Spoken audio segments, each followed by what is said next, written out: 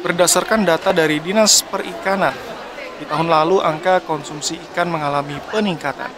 Jika di tahun 2016 angka konsumsi ikan 44,27 kg per kapita per tahunnya, di tahun 2017 menjadi 45,23 kg per kapita per tahun. Berdasarkan penjelasan dari Kepala Bidang Penguatan Daya Saing Produk Perikanan dan Pemasaran Dinas Perikanan Tabalong, di tahun 2017 hingga 2018 ini, perputaran ikan di pasar ikan mengalami peningkatan. Ini menandakan naiknya animo masyarakat dalam mengkonsumsi ikan. Ini ada kenaikan walaupun tidak terlalu signifikan dari 44,27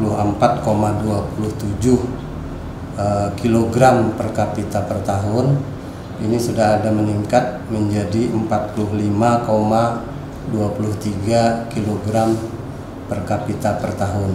Hmm. Ini artinya Senada dengan Ahmad Robiani, Kepala Badan Pusat Statistik Tabalong Tri Agus Budi Prihanto menjelaskan, pada tahun 2017 lalu ikan berada di urutan pangan ketiga yang banyak dikonsumsi masyarakat Tabalong.